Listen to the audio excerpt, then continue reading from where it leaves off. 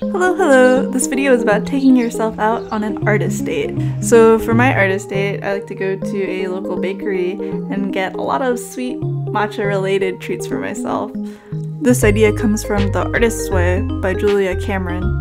And the book really places an emphasis on self-care and taking yourself out every week. At first I thought, I don't think I have time for this. But after I did it a couple times, I felt a real peace of mind after going out. Not only that, I was more productive after my break and worked even faster than previously. So it was nice to just pause and be alone with my thoughts for a while. I've also been journaling a lot recently. This is my Hobonichi cousin. It's a Japanese planner. I really love it. There's enough space for me to track what I'm doing hourly and then write what I'm doing daily in a diary entry format. And then there's also these really cute quotes on each uh, day that kind of brighten your day as you read them. I think it's a good way to keep track of your thoughts, to take a step back from your life and view it from like an outsider point of view and see are you doing what you want to do every day or are you kind of living your life for someone else? It's easy to think of uh, writing in a diary as silly, but life is not just a single goal achievement. It's a bunch of small steps along the way, and we have to make sure to enjoy every little bit of it.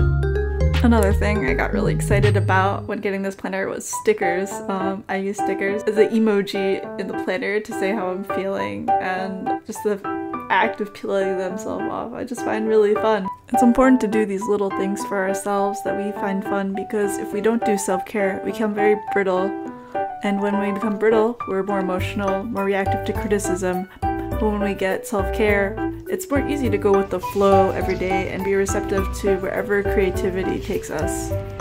As we get older and busier in our lives, work seems to take on a life of its own. We place a lot of importance on how much we get done, when we get it done, and even how much we make from what we get done. We end up seeing the art as more important than ourselves, when in reality, without the artist, there is no art. We not only need to take care of ourselves mentally, but physically as well, which involves working out, you know, at least once a week so our bodies don't fade and we can keep making art until we're really old.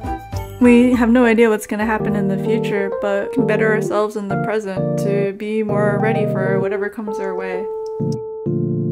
It's funny how I say that because as soon as I got home, uh, my dog, he actually tore up one of my drawing reference figures that I haven't used in a while, but I found it useful like if you want to hold something in your hand and see the figure in different perspectives. So, you know, but you know, I'm very flexible. I just spent a lot of time relaxing, so not angry at him. I feel like he was just saying, you know, you can draw with that reference, mom. It's okay. okay, bad. Bad dog. No. Bad. You did this.